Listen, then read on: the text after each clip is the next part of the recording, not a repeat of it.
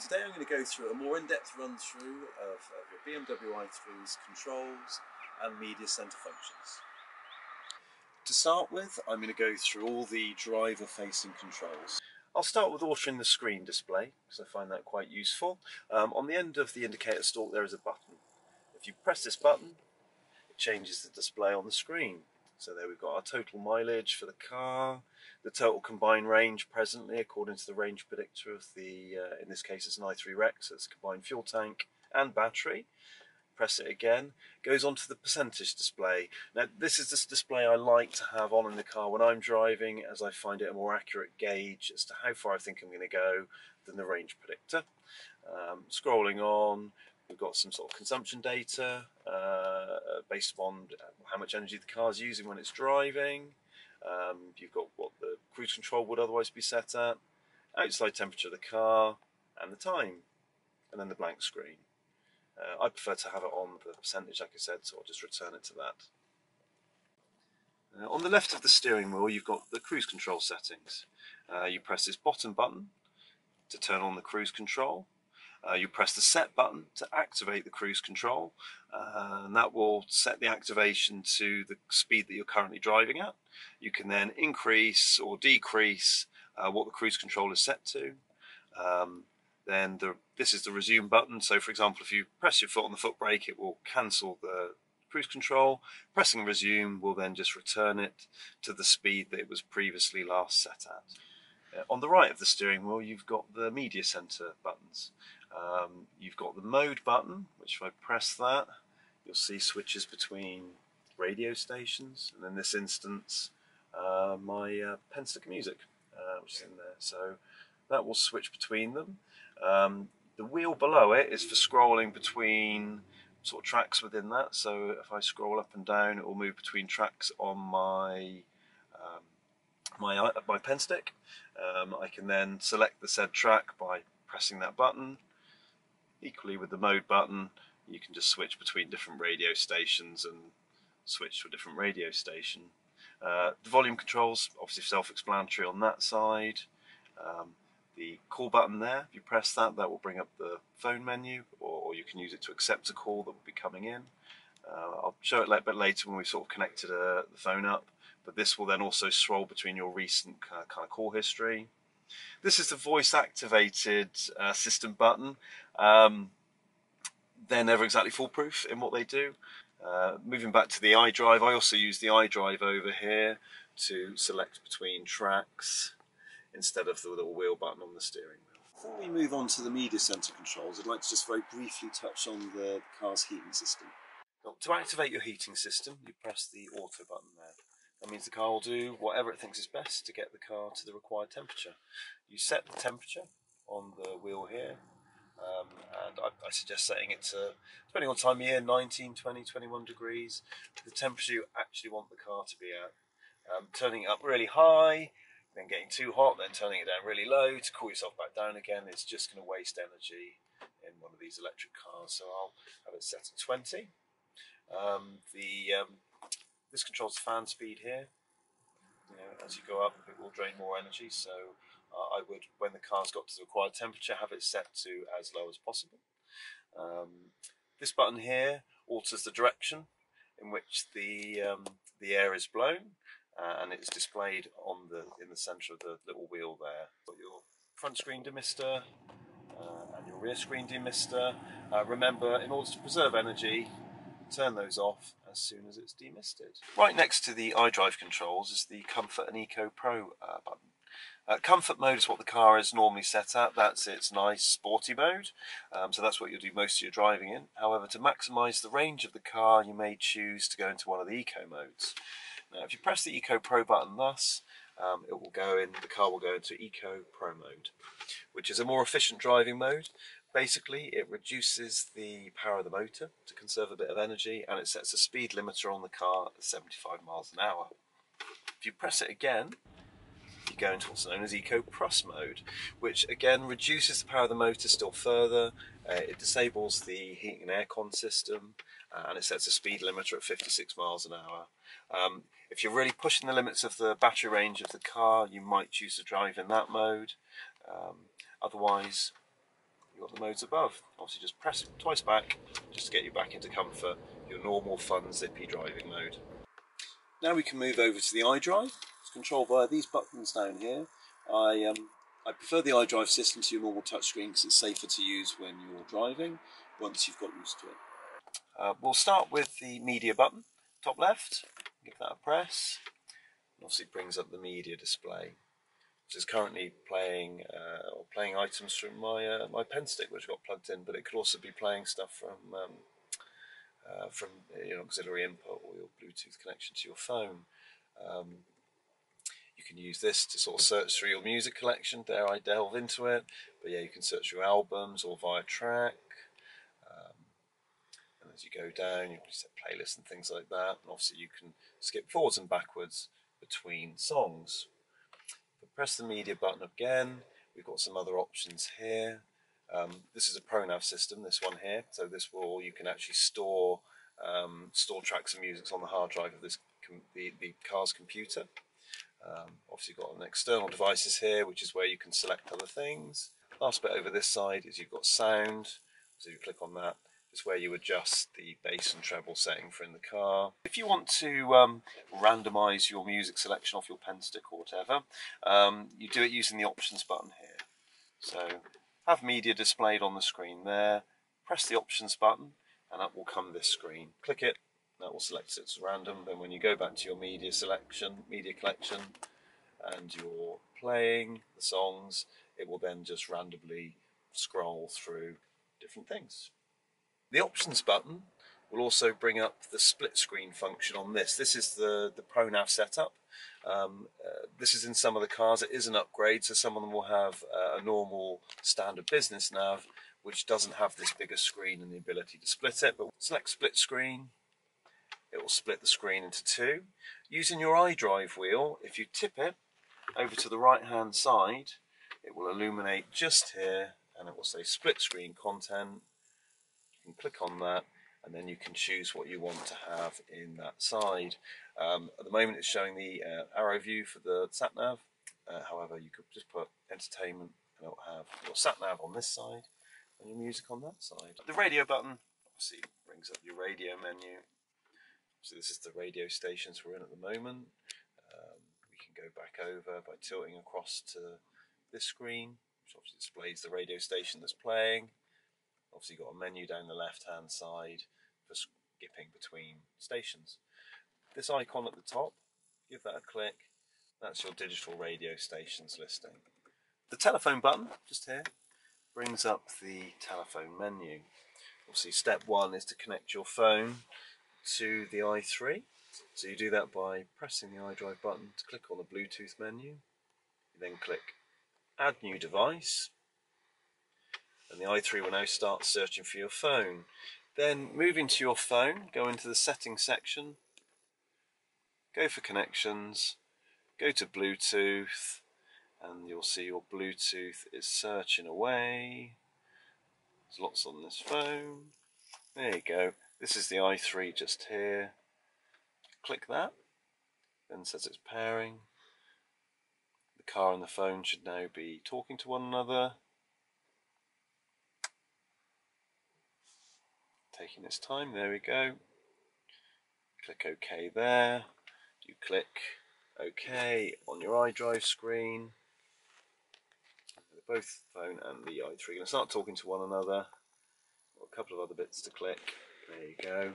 So you want to connect your phone for telephone calls, so bring up your phone directory and audio in case you've got um, music and stuff on your phone. Click OK.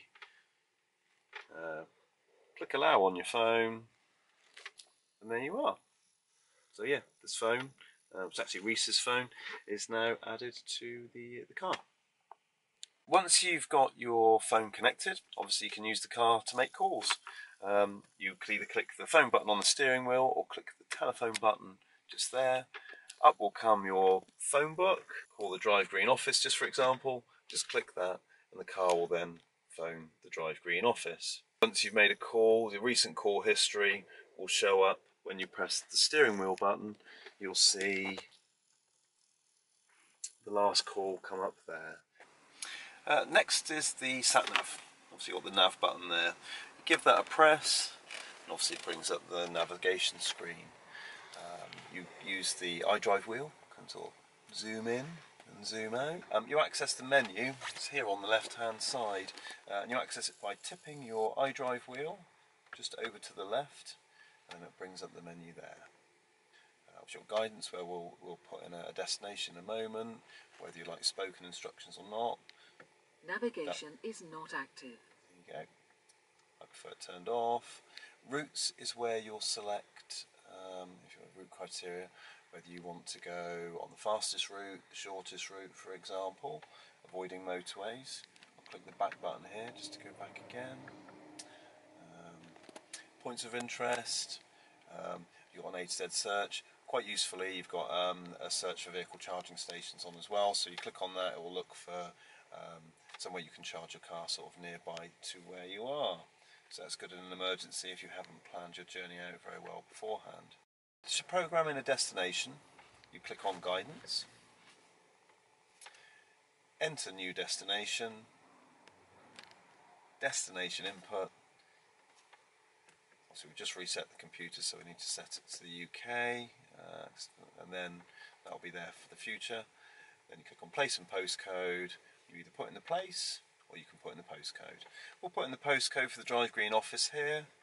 you Go B a, obviously you're doing using the wheel, turning and then pushing. Click that to get onto numbers. It'll be a 3, and it's a 4. Click all the way around to the S, and then L, and then we click OK. So then you scroll down to Start Guidance, there you go, otherwise it come with the destination criteria and it would now help you navigate to that destination. Now we've got a few things set up in the car, I'm going to show you how to uh, take advantage of the programmable buttons on the top of the dash here. Anything that you can see on the iDrive screen, you can program and save into one of these buttons. We'll start with the obvious. We'll program in a radio station. So we'll, let's go, what should we pick? Uh, radio 1 maybe. So there we go. We'll choose radio 1 on the, on the, the screen and we want to save it as button number 1. You would just hold and press button number 1 as you can see, button number one now will take you straight to radio one.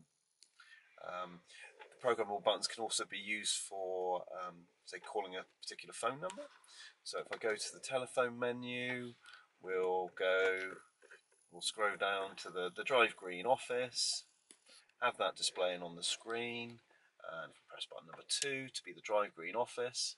Now button number two, we'll just call straight to the Drive Green office. Um, you can also program in one of these buttons to store a, a sat-nav destination.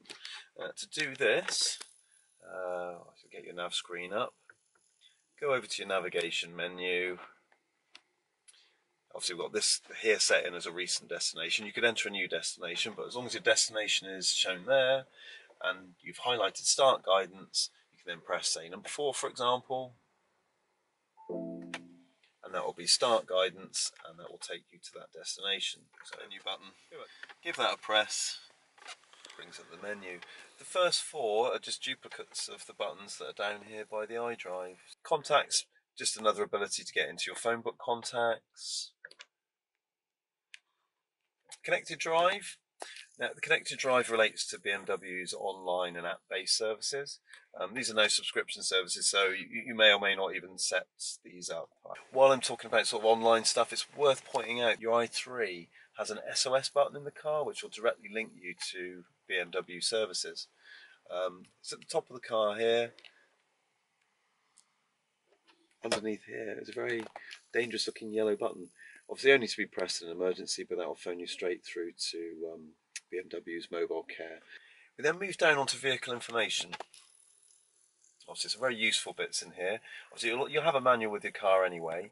However, within here, you also have um, your, your full owner's manual.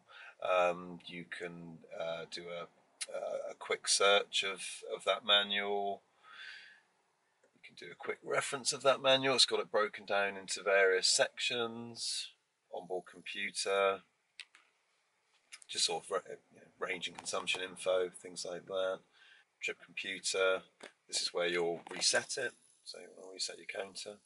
Uh, while we're on it, actually to reset your um, physical range counter. Just press that button on the side of there. Obviously, you can reset things in here. After a journey, vehicle status. This is where you can go to monitor your tyre pressures. After bit of time in selecting, it will bring up what the tyre pressures are set at. You can reset tyre pressures if you need to. Service info's in there. The check control is very handy. If you click on that, it will bring up whether there's any sort of uh, faults with the car. From time to time, you'll see little little warning triangles appear up here on the screen, normally in grey. They're normally minor things such as screen wash needing filling or the key having a low battery in it. Um, but you'll go into vehicle status, the little triangle at the bottom to find out what it is the triangle refers to. Uh, last of all is the settings within the menu. Um, lots to go through here again. So click here on settings and it brings up the setting menu. There's lots on there, so we'll just work our way down.